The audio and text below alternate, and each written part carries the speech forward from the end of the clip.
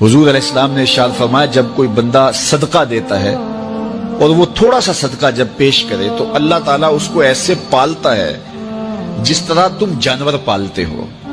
और कयामत के दिन वो मुट्ठी भर जौ दिए हुए, थोड़ा सा सदका दिया हुआ, तुम्हें ऐसे मिलेगा जिस तरह ओहद पहाड़ होता है।